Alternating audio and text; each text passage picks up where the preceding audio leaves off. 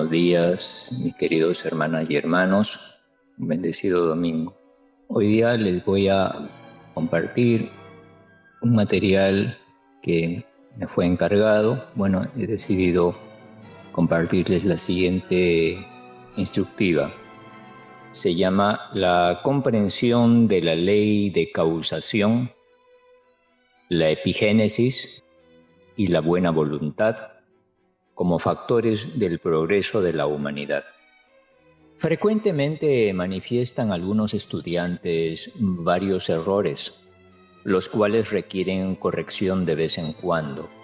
El más generalizado de estos es la idea equivocada de que todo lo que nos sucede es la consecuencia o efecto de alguna causa o acción nuestra en tiempos pasados, generalmente en alguna existencia previa. Teóricamente los estudiantes conocen que esto no es exacto. Están conscientes de que además del destino acarreado por nosotros de otras vidas para su liquidación en esta vida, estamos ejerciendo una influencia causística por nuestros actos. Una parte considerable de las acciones hechas en esta encarnación se convertirán en efectos antes eh, de que la muerte termine nuestra estancia en este alrededor ambiente, a la que los hechos que no se liquiden de este modo se arrastrarán y formarán las bases del destino de una existencia futura, en la que cosecharemos aquello que hayamos sembrado. Este destino arrastrado de una vida a otra está indicado en nuestro horóscopo y nos da ciertas características y tendencias o líneas de menor resistencia. No debe ser olvidado, sin embargo, que este destino de otras vidas anteriores nos da determinadas influencias o impulsos hacia líneas de acción concretas. Pero de todos modos, existe una gran cantidad de libre albedrío en nuestras acciones que dejan lugar al ejercicio de la epigénesis, o sea, la actividad creadora divina que forma las bases de la evolución. Como ya dejo dicho, los estudiantes saben perfectamente esto teóricamente, pero al relacionarlo con los problemas de la práctica de la vida diaria, parece que todos toman persistentemente la actitud de que todo lo que es en un desarrollo o ampliación de algo que ha existido ya esto es cierto, especialmente en el caso de aquellos que han estudiado las religiones orientales antes de sumarse al movimiento de los estudiantes de las enseñanzas de la sabiduría occidental. Pero por esta actitud mental de ignorar o no aceptar la acción de la epigénesis, están retardando el desarrollo de su alma a un grado tal del que no están conscientes.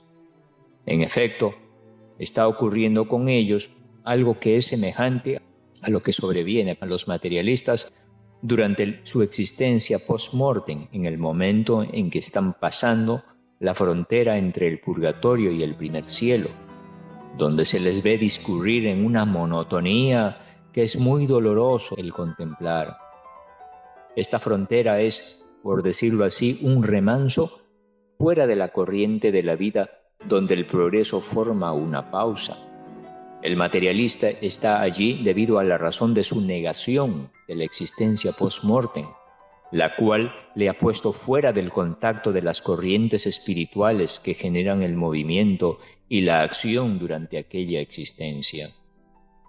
Asimismo, cuando nosotros ensalzamos y recalcamos la ley de la causación e ignoramos constante y persistentemente la ley de la epigénesis, nos estamos colocando fuera de la línea de acción de esta última y nuestras ocasiones de ejercitar iniciativa se pierden más a menudo que si fuera del otro modo, con el resultado de que nos encontramos más obstruidos y nos hacemos más estériles a medida que pasan los años.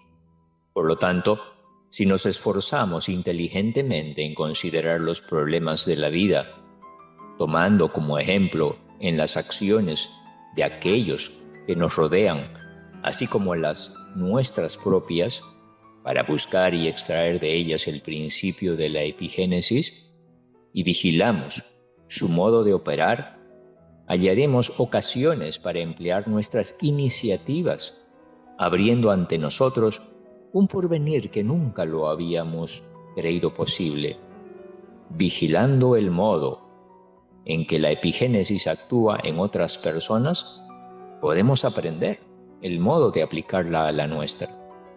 Confiemos en que mantendremos en nuestra imaginación lo antedicho. Y si así lo hacemos, obtendremos un gran beneficio por la práctica persistente de este principio. Sigamos enfocándonos en esta consideración. Como nos señaló Max Heindel, aunque busquemos la luz bajo el estudio de las leyes que rigen nuestras vidas, no debemos tener la idea errónea de que todo lo que nos sucede es consecuencia de alguna causa o acción pasada, generalmente en una existencia anterior. Sabemos que las pruebas no tienen la única función de ajustar los desequilibrios que hemos generado en el pasado, sino que también son importantes para el desarrollo de la moral y la fuerza interior espiritual, así como el ejercicio físico y el trabajo para desarrollar la salud, los músculos y la fuerza del cuerpo denso. El problema es que la mayoría de la gente se acobarda en este punto crucial en el camino inicial hacia la santidad. El ego sabe que desarrolló su conciencia moral purgándose a sí mismo en los planos internos. Por lo tanto, debe ser tentado a cometer los mismos errores del pasado, pero con el don gratuito de estar moralmente armado para superar sus pruebas. Depende de cada uno de nosotros identificar este don y usar nuestros talentos para escuchar la voz silenciosa de la conciencia que impulsa nuestros corazones. La ventaja de conocer una escuela de pensamiento de la filosofía cristiana occidental, como la Hermandad Rosacruz, es que el estudiante Rosacruz está provisto de herramientas para producir y fortalecer aún más la conciencia moral mencionada durante la vida objetiva, antes de la llegada de la muerte y el purgatorio. Esto se hace mediante el ejercicio esotérico Rosacruz de la retrospección. Para cambiar el curso natural del pago de las deudas pasadas, se requiere mucho esfuerzo para practicar la doctrina del arrepentimiento y el perdón de los pecados provista en el misterio de Cristo. Esto nos aleja de los lazos de la ley para vivir en la plenitud del amor y la gracia propios del Hijo. Este es un gran consuelo y una preciosa invitación a trabajar para comprender la luz que está en la Biblia y al expresar esta luz en la vida diaria, hacer posible desencadenar nuevas reacciones benéficas en la naturaleza para cambiar nuestra condición de deudores. Cuando aprendemos el mecanismo de cómo opera la ley de consecuencia, rara vez comenzamos una vida de pureza y altruismo Debemos alejarnos de esta tendencia. Es este extracto de acontecimientos el que forma la voz interior o los poderes psíquicos que las personas acumulan en cada vida. Esta es la razón por la cual debemos durante el ejercicio esotérico Rosacruz de retrospección examinar si transmitimos el verdadero significado de lo que estamos tratando de transmitir, ya sea de palabra o de hecho a nuestros oyentes observadores. Cuanto más cerca estemos de la acción de la intención entre paréntesis voluntad del ego, de la acción más congruentes y agradables, seremos de la ley de la consecuencia. El estudiante Rosa Cruz debe redoblar su observación de sus tendencias parciales, porque una actitud aparentemente santa puede tener una base fuertemente egoísta, y esta sutileza es poco notada por la mayoría de la gente. Por ejemplo, la sensación de alivio cuando uno deja de pecar o cometer errores puede ser resultado de un egoísmo disfrazado de bondad. La aparente ayuda de los demás también puede basarse en el deseo de escapar de nuestra propia conciencia que nos señala con un dedo invisible si no lo hacemos. La garantía de un futuro glorioso no puede ser fruto de acciones justificadas, sino de una vida de consagración. La Fraternidad Rosa Cruz, que es una escuela cristiana de sabiduría occidental, también promulga la epigénesis, que es precisamente la capacidad de todo ser humano para responder de manera original a las situaciones presentes, determinadas en el pasado por la ley de consecuencia. Job, cuando perdió todo lo que tenía, cuando su honor se desvaneció y una grave enfermedad sobrevino a su carne, fue capaz de dar una nueva respuesta que le aseguró la salvación. Su esposa, por otro lado, respondió como la mayoría de la gente lo haría normalmente, maldiciendo a Dios y rogándole a Job que muriera. El estudio de la ley de la consecuencia puede generar la idea errónea de que estamos atrapados en las acciones negativas del pasado. A pesar de su influencia, hay que destacar la realidad de la epigénesis. Si hacemos un esfuerzo inteligente para considerar los problemas de la vida, aprendiendo, observando las acciones de los que nos rodean, así como nuestras propias experiencias, encontraremos oportunidades para ejercer iniciativas que se abren ante nosotros como nunca hubiéramos creído posibles si consideráramos solo la ley de la consecuencia. Esta es la forma en que el estudiante Rosa Cruz, que ha pasado la prueba antes mencionada, llega a vivir diariamente.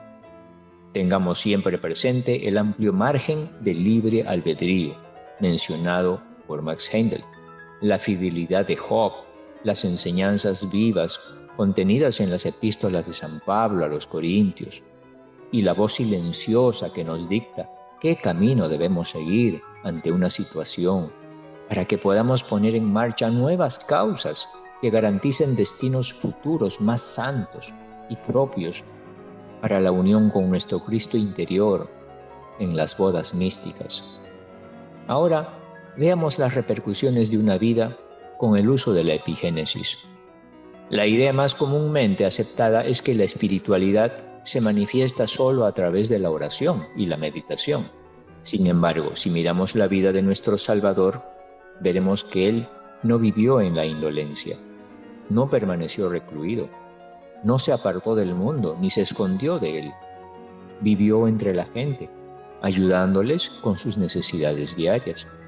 Lo alimentaba cuando era necesario, lo sanó cada vez que tuvo la oportunidad de hacerlo e inclusive le enseñó enseñanzas. Por tanto, fue un servidor de la humanidad en el verdadero sentido de la palabra. Mascaindel nos dice nuevamente, hay muchas personas que aspirando a poderes espirituales viajan de un centro llamado lo oculto a otro, ingresan a los monasterios y aprecian los lugares de aislamiento. Esperan, lejos del clamor y las atracciones del mundo, cultivar su naturaleza espiritual están expuestos a la luz de la oración y la meditación desde la mañana hasta la noche, mientras el mundo gime de agonía. Entonces comienzan a admirar el hecho de que no progresan, sin saber por qué no obtienen más del camino de la aspiración. Ciertamente la oración y la meditación son necesarias, absolutamente esencial para el crecimiento del alma pero estamos destinados a fallar si dependemos para el crecimiento de nuestra alma solo de oraciones, que son solo palabras. Para obtener resultados debemos vivir de tal manera que toda nuestra vida se convierta en una oración, una aspiración. Dice una oración, aunque tus rodillas nunca se hayan doblado.